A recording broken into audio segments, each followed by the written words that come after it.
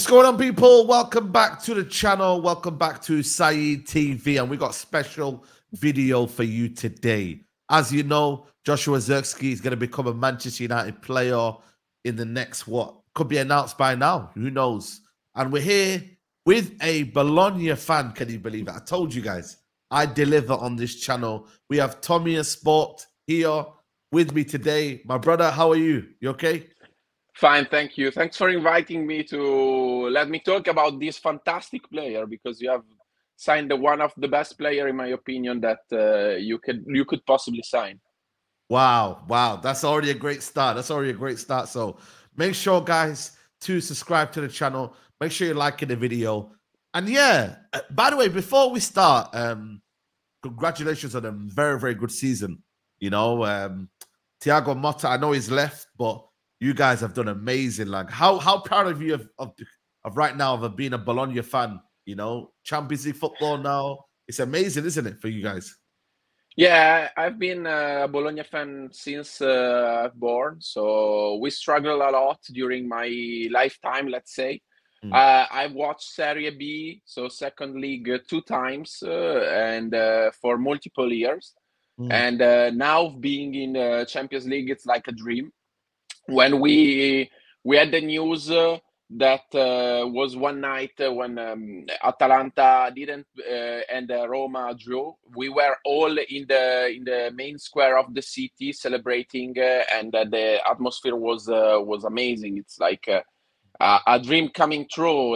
I don't know how to to to to put it because uh, for a team like us uh, that uh, for what we have been through we almost have disappeared from football also um, 12 years ago because of financial problems now being in champions league and have uh, a, a, stable uh, let's say financial situation thanks to our owner saputo. It's amazing. Mm, absolutely and you know thiago motta i know he's left but how big of a job was he like how instrumental was he for you guys last season Thiago Motta was a really good coach. Uh, was a mm. really good coach, but also the staff of, the, of Thiago Motta was one of the best staff I ever seen in uh, in Bologna because uh, uh, the, the, the the way they they they they, um, they they start to elaborate the matches, they analyze the the opponents uh, was amazing. The, mm. the the the main thing about Thiago Motta was that he changed the the, the formation based on the opponent mm. and uh, in a very effective way mm. so that uh, they counter the attacks of the opponents but at the same way they try to um, to score uh, mm. in a in a in efficient way not just uh, like passing the ball they adapt let's mm. say that uh, I, I would def uh, the definition of the football of Thiago Motta is adapting to the opponent let's say mm. absolutely absolutely and you guys were refreshing last season, you know, amazing, amazing season. I know we talk about some of your players, you know, but were you, where was your kind of ambitions last year? Did you think ever Champions League football was, where, where were you thinking Bologna would reach with Thiago Motta last season? Did you have a prediction? Top 10? I, I, I had faith in Thiago. I had faith in Thiago and the team. Uh, I thought Conference League would be possible, so European football, but okay. not Champions League at all. Oh, that's we crazy. start believing that after we we won uh, in uh, in uh, in Rome against Rome uh, three one. Uh, that mm. was the time, like when uh, when we when we start believing that it was possible to go to Champions League. And guess who scored on that day? Joshua Joshua Zirkzee scored on that day. Yeah. So it's uh, it's funny, it? It's funny old story, man. But how how are you feeling? Obviously, he's gonna leave the football club. Um, what was your initial thoughts, by the way, when you hear the news he's going to be leaving? You know, first of all, it was AC Milan, but you know, just in general, how was your kind of overall feeling like? Were you sad? Were you kind of like, you know, like, talk to me. Uh, it's mixed feeling because um, all, um, uh, we were attached to the player. We we loved him uh, that much, but we knew that uh, for uh, growing up and for letting us as well growing up because of uh, we needed money uh, to to spend on the market um, was a good was a good thing to to let him go and to let him uh, grow as a player and uh, imp- more importantly as a human being because uh, the thing that you have to know about uh, Joshua Zirkzee is just uh, not that he's just a player but he's uh, an amazing um, human being for for the for the team that helps the team to develop also in um, in a let's say in another way. So he's really determined to to reach the goals uh, and uh, he communicates a lot with the teammates and he creates an ama- amazing atmosphere in the um, in the locker room so that is the most important thing about him mm, absolutely and you know last season he scored i think um, 11 goals in the serie a yeah. one goal in the coppa 12. italia yeah. so not a prolific season but what do you think the qualities what made you kind of like fall in love with him in terms of you said that connection like what qualities do you admire about him in terms of his game and his overall game? What talk to me? What can the United fans expect from Joshua Zirkzee? Um, it's a different type of um, offensive player, let's say, because uh, he attacks uh, uh, in a very different way. He, he, he, he tried to have the ball as much as possible uh, in his feet to create chances also for the uh, for the um, for the teammates. Uh, we talked a bit previously about the the game in Roma against Rome, for example. He scored, but he also delivered a very amazing assist, one of the best assists that I've ever seen in my life for uh, because it was a one-touch uh, assist. He he, um, he got the ball and he passed immediately in the space for Saelemaekers, and that was a, a smart move for him. So. Mm. It's a kind of player that holds uh, that um, he, he chooses also uh, the, the, the, the, best thing for the team in the right moment. So he moves around, he let the players move around him, and he creates the chances for the for the for his uh, for each teammate. It's like a playmaker. Uh, if you compare okay. that maybe to to basketball, that is another passion of uh, of Joshua Zirkzee. He's a, a lot of passion. He has a lot of passion for for basketball and he has that Kobe mentality, that Mamba mentality that uh, gave him uh, the strength for all uh, all the season to reach the, the targets, like I said before, but also to um, help the others reach the target with him. Uh, so it's a leader. He, he, he, was a leader in the in the Bologna locker room, and I think in Manchester he could. Uh, um, he can he can bring this type of mentality. It's another type of football, the, the Premier League, of course, Mm. But he, if he can adapt to Premier League in um, in a, like in the way of thinking, so the fastest way of thinking, uh, he can be really really successful uh, for for Manchester United. Mm. That's what I've noticed with him. He's um, in terms of connecting the play, he's amazing. Getting in the little pockets, you know, and and and helping other players. I think that's what I think I'm most excited about for me personally because yeah. we had that sort of play with maybe I don't know if you know Martial, but he was similar in the way he come and maybe collect the yeah. ball and receive it. You know that that's the qualities I think in terms of technically as well. Do you think he's got the ability to adapt to the Premier League as well? Like no problem on the ball, very very one touched. You know, it, technically, yeah. do you think he's amazing? Like one of the best you've seen? Like how have you been, how have you been impressed with him? Technically? I think it's the best I've seen in Bologna for my in my life. Uh, I, I, I was born after the year after Roberto Baggio uh, came to Bologna, so I didn't have the opportunity to to watch uh, Roberto Baggio with Bologna shirt. But uh, a lot of people that watched Bologna that uh, watched Bologna as uh, Baggio told me that uh, Zirkzee was that kind of player that makes the difference and uh, has a really good uh, technical ability and uh, he's amazing like uh, trust me you will have a lot of fun with this plays mm. and um, but uh, as well you have to be patient because mm. maybe in the in the first months he's gonna have to adapt to english football that is really different the way of thinking the tacticals in italy we are more tacticals than uh, in the mm.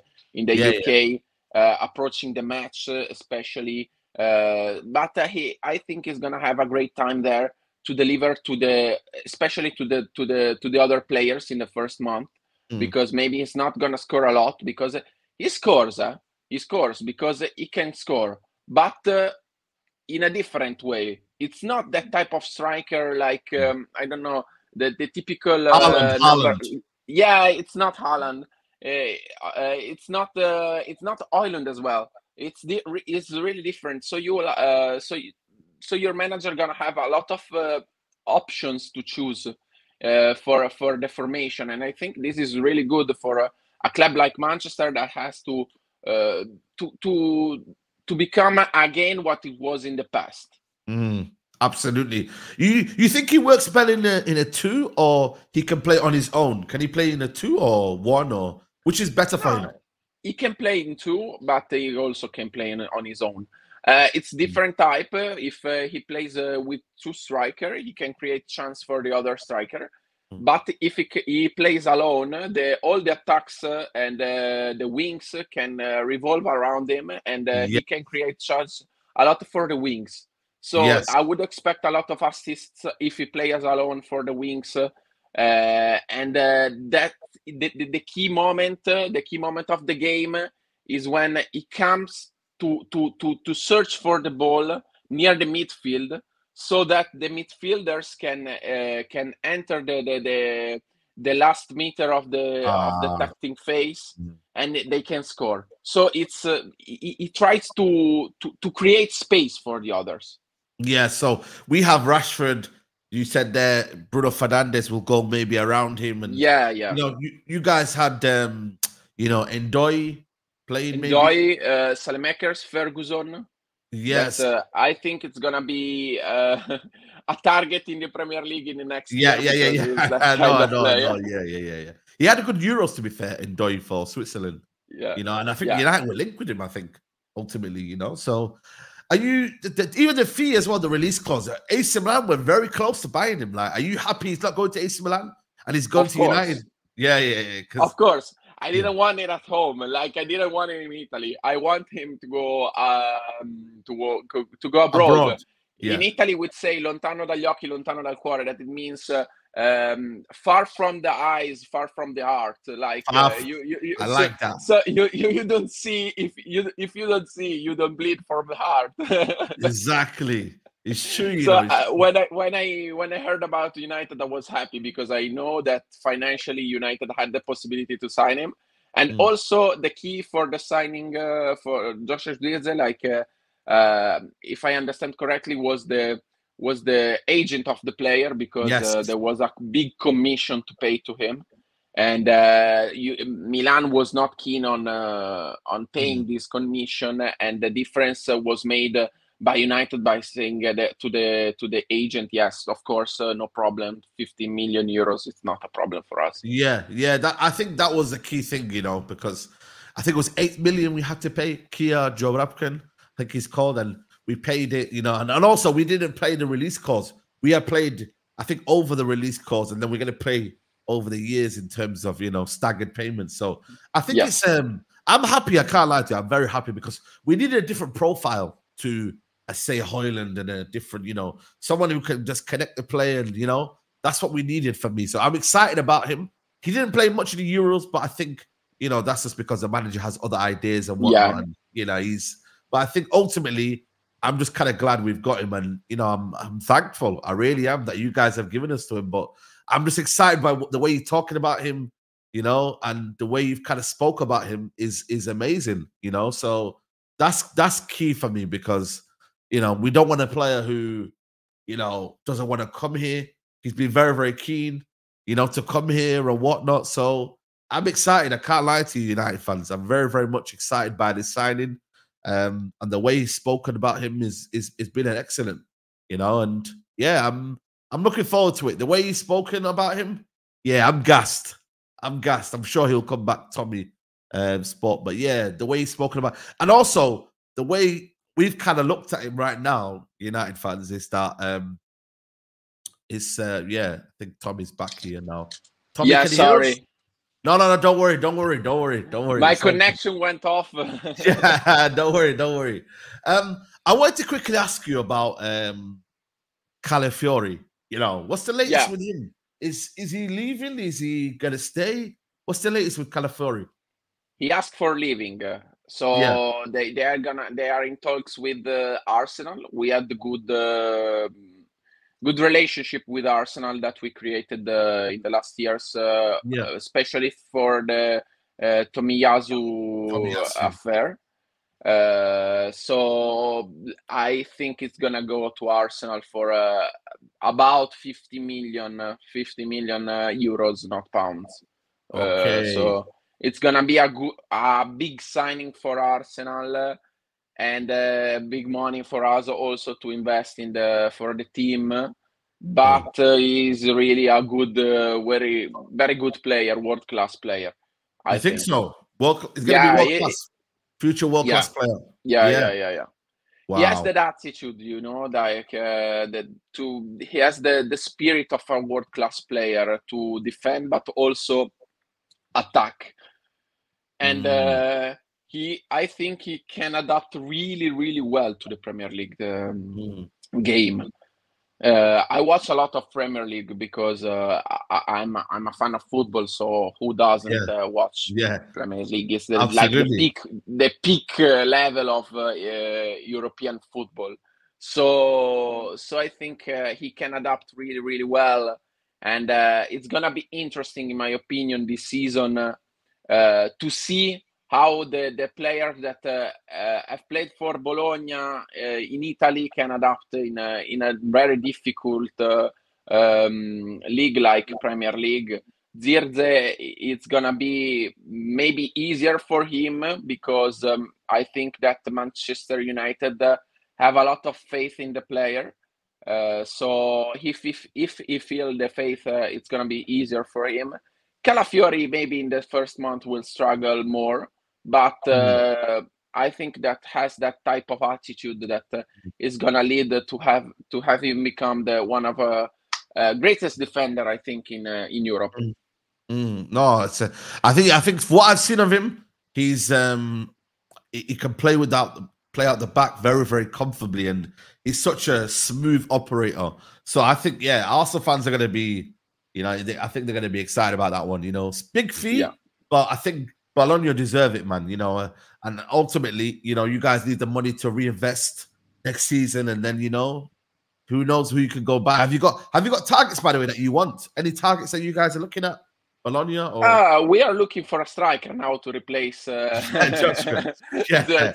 I wish you could give me one, but we don't have any left. You know, it's, it, it, it's really difficult to find um, a good one. We we target uh, Hugo Duro from uh, Valencia, but also, for example, Ioannidis for Panathinaikos.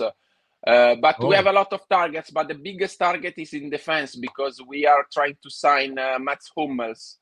Oh wow, yeah. Hummels yeah, yeah. Amazing. For the for the defense uh, and for so for the Champions League, uh, I think yeah. uh, it can be a good sign uh, for us. Wow. Uh, world class player, of course. He was one of the best of last year's Champions League, and I really have my finger crossed because I like him a lot. Mm, yeah, yeah. No, thank you. I think it's um it's amazing. But no, I've enjoyed this chat. Um, Tommy, any last words on on Joshua Zirkzee? Any last words to the United fans? You know, any kind of like, you know, things you want to say before we wrap up? Uh, have patience because uh, he's a really uh, talented player.